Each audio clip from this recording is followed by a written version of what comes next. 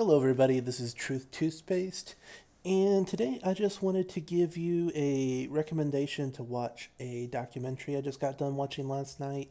It's called The Princes of the Yen, and it's about the structure of the Japanese central bank and economy after World War II and leading up to the present day, and how it uh, really affected the growth of the Japanese economy and I found it really interesting.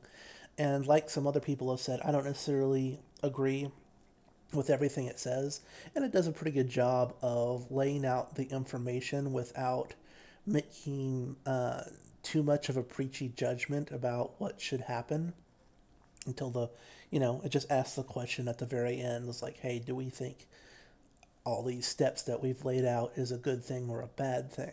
and um, to, and so to try to give you a, a quick breakdown of of how it's laid out. Uh, right after World War II, of course, Japan was devastated by uh, the war, and they had to rebuild their industry in such a way that uh, that you know they had to get approval from the Americans for such and such things, and structures were put in place. And you had the Japanese central bank, and um, basically uh, a lot of the Japanese war economy structure was retained, but the Japanese simply redirected all of that effort to consumer goods instead of the war industry. So you had the, uh, you know, instead of making, you know, rifles, you would make washing machines and for export, right? And uh, and, this was very much, uh, although it was presented as a uh, capitalist system, it uh, there was a lot of non-competitive practices in the Japanese system. Uh, basically, uh, if you didn't have the same kind of uh, system where you know, to keep it simple, like Burger King and McDonald's are going head to head and trying to lower prices and compete and going back and forth.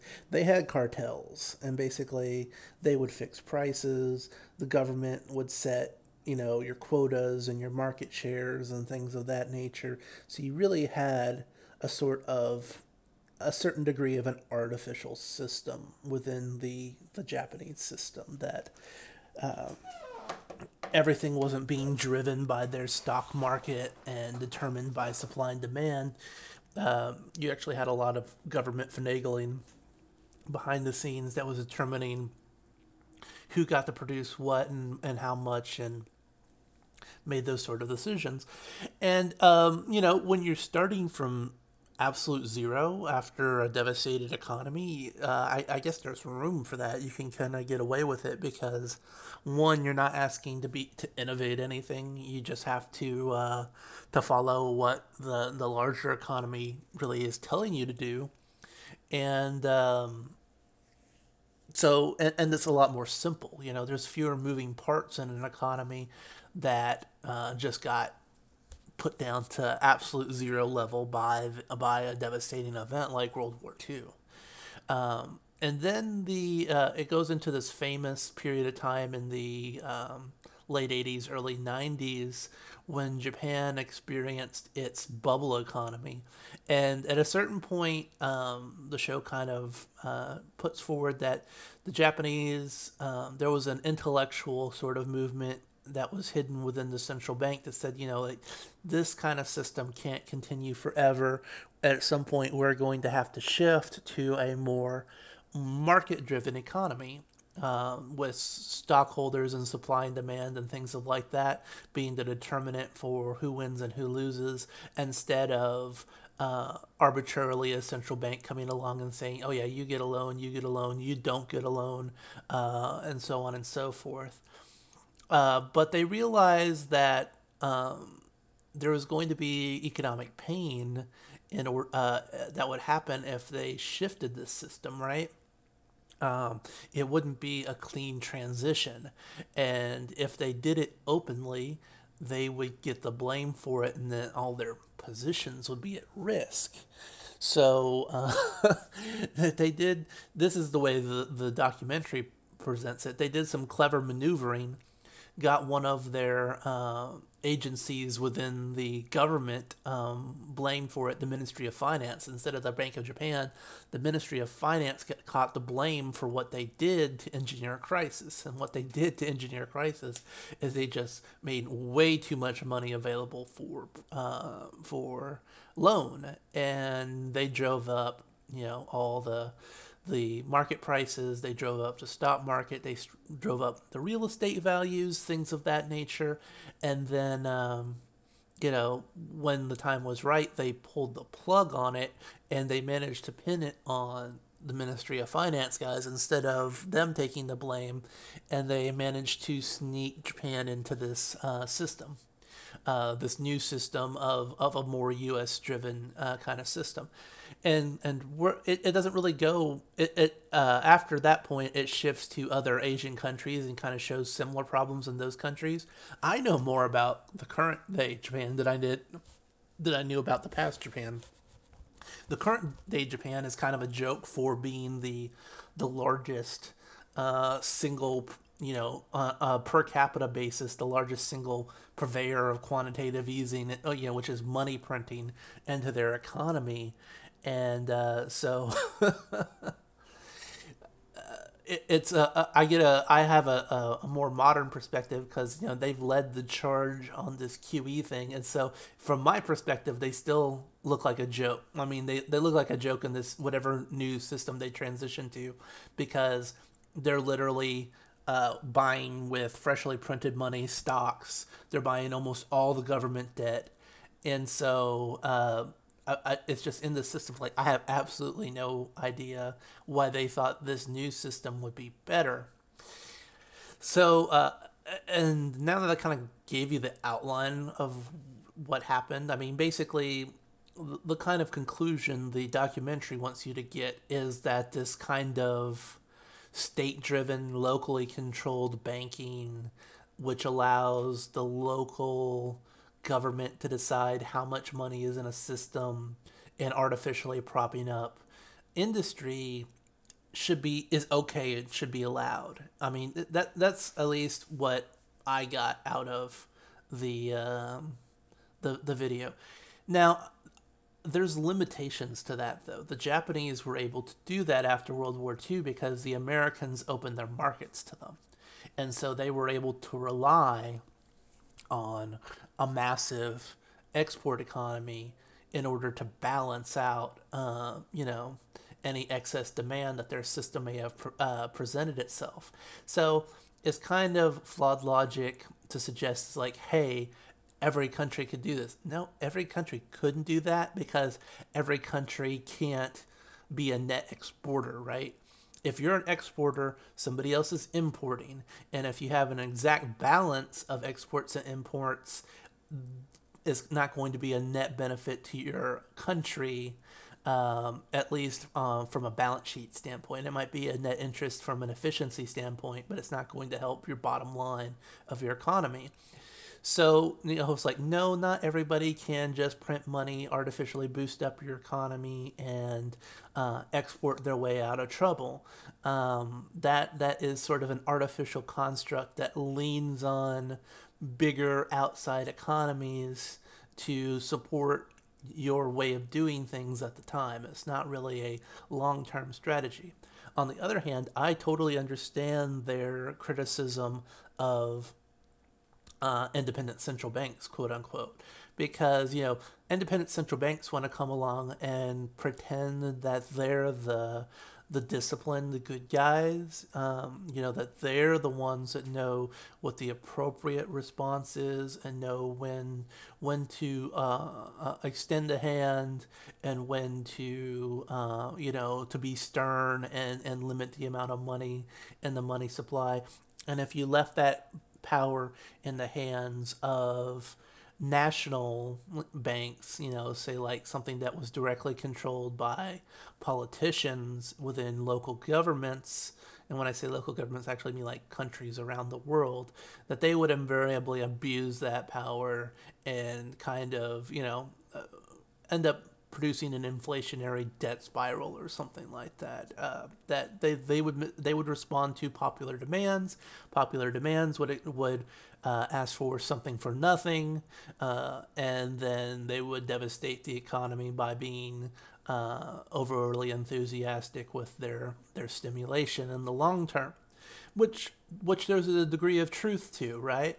Uh, I'm not trying to justify that, but th- but this is why there was a gold standard back in the day, right? Because if you just let a government uh, print its own uh, money willy nilly, you got inflation and then hyperinflation, right? And uh, you see this all around the world, whether we're talking about, um, you know, communist nationalization. Uh, so basically, it's like, yeah, I get it. Countries can um, get populists involved and mismanage their their uh, money supply. Makes sense, right? But you know, the central bank kind of presents itself as the end all and be all for avoiding uh, political corruption. When this can't be, uh, this is like about as far from the truth as possibility. It might, it might uh, shield you from that sort of populist. Uh, well, let's elect somebody who will just print a bunch of money and give us a bunch of free stuff style of populism, uh, corruption. But it doesn't protect you from the uh, old fashioned, uh, uh, you scratch my back and I'll scratch yours kind of internal corruption and elitism that you get when a central bank picks winners and losers from their ivory tower. Uh, you know, those with connections are, are the ones that are able to get the money first you know you get malinvestment because we're just handing out money to the same few connected, well connected bankers who caused the previous crash, and um, you know, and and plus, you know, when you put a lot of power into the hands of a few people like that, you know you're going to attract uh, the kind of people who like power you know the the sociopaths and the people that think you know that they're above the law and they can do what they want to do. And you know it's their right to make the decision because you're some kind of dumb inferior creature that exists to be governed. And so you get this kind of elitist corruption that uh, kind of entrenches itself within these central bank institutions as uh, as well, and so I get the sense that this documentary was criticizing that sort of kind of hypocritical behavior that we've seen from central banks, uh, especially in the last few years in the United States and, and, just recently, that they're that they're willing to, to break all the rules and ride to the rescue when it suits them, but if uh, you know if, if they don't like the political um, the political aspects, uh, or if it threatens their power base or their institutions, uh, well, we'll screw those guys, right? You know that they that, that they effectively do the exact same things a populist entity would do in terms of eventually succumbing to greed and uh, doing too much and taking too much for themselves. Uh, they just do it in a different way and uh, so I, I get the criticism of this but i mean this thing goes through this whole arc of you know this kind of yes there's problems with central banks and and, and honestly there should also be problems with uh, with what the, the, documentary tries to seem to be promoting which is kind of like a a, a local democratic control of the supply of money and so you know, because like I said, not everybody can use that method. Not everybody can be the let's print a bunch, bunch of money and then be an exporter. That, that, that just doesn't work, you know. Um, so, you know, and, and then, you know, is democracy a moralizing agent? You know, maybe it's better than uh, a, a couple of guys in a central bank deciding what to do. But when you get 51% of the population deciding to say, fuck over the interests of, you know, the minority, how's that any better? You know uh, uh, uh, you know we could do the mental situations where we have uh, the two the two wolves and the sheep voting on what's for dinner right? Uh, i mean at the end of the day that's what democracy is. Uh, democracy is not a moralizing agent. It doesn't make what the government does good just because 51% of the population decided to back it. It might make the situation more stable, but it doesn't make it a, a, a moral solution. And it, it's just going to reap what it reaps in a different way than if a small group of, of people at the top were corrupting it. But here's my main problem it goes through this entire situation, this entire lengthy history lesson about the Japanese economy uh, and, and various forms of central banking. And I don't think the word gold was said once in the entire process. Gold or gold standard. Like this was made by bankers from a certain perspective. It's like, well, what, what could solve this conundrum that we're in, right? What could solve this problem where, like, well, just being a country and producing your own money um, you know it, it, it, has its limits too right? Uh, you, you, can't just always set up an ex uh, print a bunch of money and set up an export economy uh, and just hand out money japanese uh, you know post world war japanese style. That doesn't work forever. Uh, you know it's limited to a certain political arrangement. And also if you have an, a central an independent central bank it can be corrupt and it can hand out money to special interests and uh, support certain elites against uh, the will of the people. So, so what solves this conundrum? Well, the answer is gold, right? We used to have a gold standard, and if you wanted to open a bank, you needed some gold on on deposit to back to back your notes, to back whatever paper currency you had, and this served as the ultimate check on both of both the will of the people and the corruption of bankers, right? Because if you didn't have the gold uh, and people found out, there was a run on your bank and you went under. And so I, I just really find this odd. It's like it's like no, we don't just have these two choices between you know governments deciding to print money through a central bank they control and independent central banks deciding to print as much money as they want and, and assign it privately there's this third way that we have historically. And you know there's all sorts of naysayers say oh we couldn't go back to, to, a gold standard. There's not enough of it blah blah blah. There's always enough of it. You just revalue the gold to the appropriate to the appropriate amount. Knock a couple of uh, however many zeros you need to knock off the uh, the old currency and then and then then revalue the gold you know and, and the gold doesn't disappear almost all the gold that has ever been mined is still in existence. We don't throw the stuff away. It's, it's, a, it's a precious metal. So yeah, it's like we could have a gold standard, and then we wouldn't really have to worry about central bankers going nuts because they can't print money unless they get more gold. And we couldn't really worry about governments going nuts because they can't print gold either, right? So that's the one big um, downside that I kind of see to this. That I get the point it's trying to make, and its criticism of independent central banks is correct, but I just don't see how just handing that power over to some democratically elected populists and saying, "Yay, print money, money for everyone," is the solution that's ever going to work. Really, you, you need discipline in a system, and money needs to mean something. And for it to mean something, you can't just create more of it willy nilly. Um, you know, that, that's just how it goes. If you want people to value your money, it needs to be able to hold its value. And if you're just going to print up a bunch of it and hand it out politically, it doesn't really matter if a central bank is doing it or an elected government is doing it. You know, and that's my opinion. Um, I don't know what some of you guys may have gotten out of it, but that's what I got out of it. But it's it's a very interesting documentary. Uh, I do recommend you take a look. I'm going to link to a uh, a video of it that you can watch in uh, on YouTube for free, and it's based on a book. So if you really like it, uh, you know it's an interesting history lesson. I like just a lot of the B reel that it has from uh, Japan you know, it's got all the different office buildings and skyscrapers uh, taken at different shots of uh, time during the day, and you can see, you know, the billboards with anime girls on them and people milling in the streets and uh, trains and that kind of stuff. So it, it's there's some nice background work uh, within the piece too. I really liked it, and it's based on a book. So if you get really into it, uh, you could grab the book and read the whole thing.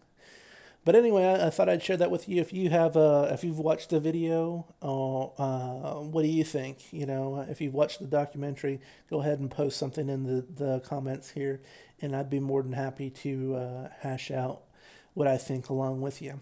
This has been Truth Toothpaste signing off.